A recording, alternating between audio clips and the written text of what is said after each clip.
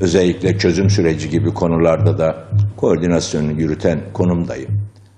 Başbakan Yardımcısı Beşir Atalay'a bağlı Kamu Düzeni ve Güvenliği Müsteşarlığı'nın koordinasyonunda başlamıştı çalışmalar. Adalet ve İçişleri Bakanlıkları geliştirdi. Birçok ülkenin çalışmaları incelendi. Toplumsal boyutu için sosyologlardan faydalanıldı. İhtiyaç listesi yapıldı, madde madde sıralandı ve sadece çözüm süreci kapsamında değil, tüm azınlıkların hakları masaya yatırıldı. Bu bir kanun paketi değil.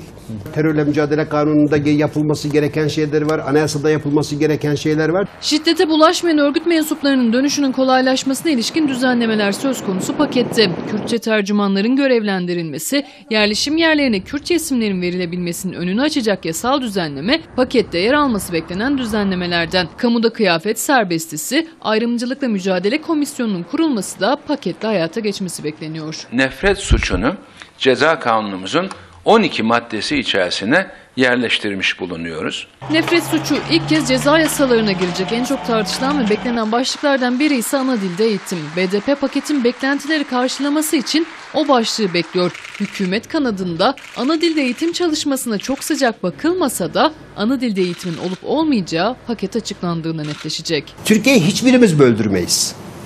Biz bugüne kadar Türkiye'nin üniter yapısına zarar verecek. Üniter yapısını sorgulama konusu yapacak hiçbir tartışmanın içinde olmadık olmayacağız. Ve masadaki değişiklikler arasında olan bir başka madde seçim barajı. Yıllardır tartışılan o konuyla ilgili de adım atılabilir. Daraltılmış bölge sistemi gelebilir. İllerdeki bölgeler artırılıp milletvekilleri sayıları değiştirilebilir.